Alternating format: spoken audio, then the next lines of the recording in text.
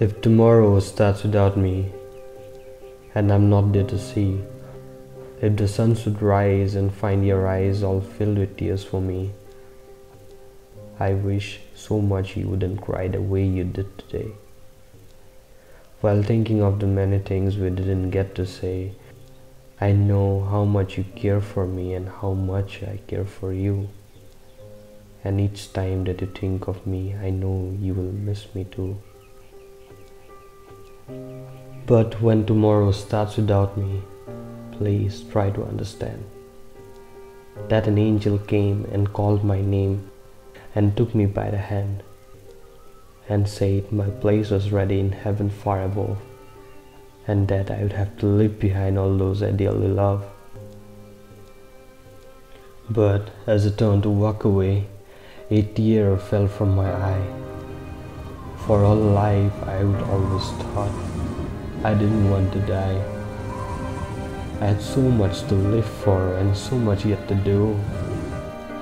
It seemed almost impossible that I was leaving you.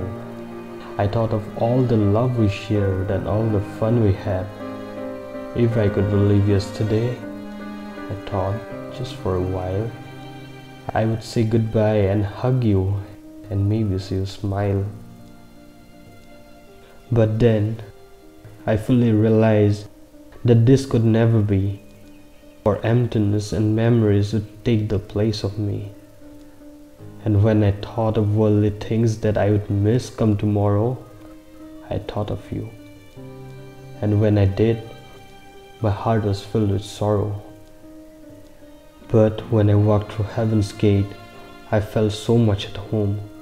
When God looked down and smiled at me, from his great golden throne, he said, This is eternity and all I have promised you. Today, your life on earth is past, but here it starts anew. I promise not tomorrow, but today will always last. And since each day is the same, there is no longing for the past. But you have been so faithful, so trusting, so true.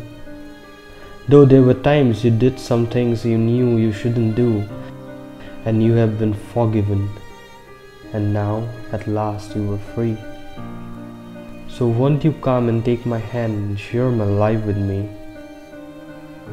So, if tomorrow starts without me, don't think we are far apart. For every time you think of me, please know I am in your heart.